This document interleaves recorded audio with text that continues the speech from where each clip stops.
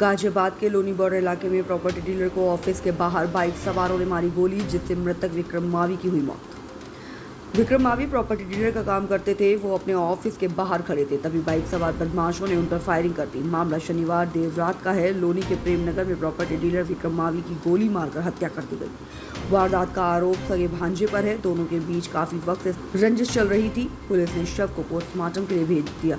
घटनास्थल पर पहुँचे डीसीपी ग्रामीण विवेक कुमार ने बताया कि पुरानी रंजिश के कारण घटना कारित की गई। मृतक विक्रम मावी पर पाँच आपराधिक मुकदमे दर्ज हैं तो वहीं हत्याकांड के आरोपी पवन पर भी पाँच आपराधिक मामले दर्ज हैं। टीम गठित कर दी गई है। जल्द ही हत्याकांड का खुलासा किया जाए।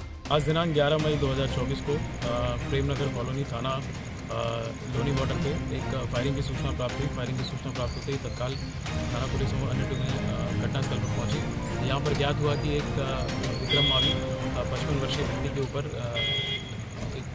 फायरिंग की गई जिससे कि उनके पेट में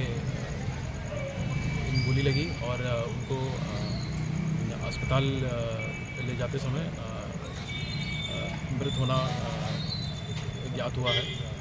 इसके साथ ही जो उनके परिजन हैं, उनके द्वारा यह तथ्य प्रकाश में लाया गया है कि इनकी इनके ऊपर फायरिंग करने वाला, इनकी हत्या करने वाला, इनका ही सगा भांजा पवन भाटी है जिसके ऊपर पाँच आपराधिक मुकदमे पंजीकृत हैं।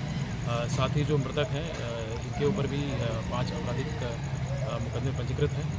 पुलिस द्वारा जो भी विधिक कार्रवाई है, की जा रही है और अतिशीघ्र घटना का अनावरण करते हुए जो अभियुक्त हैं उनको गिरफ़्तार किया जाएगा और जिसमें अन्य जो भी विधिक कार्रवाई है, उसको सुनिश्चित की जाएगी।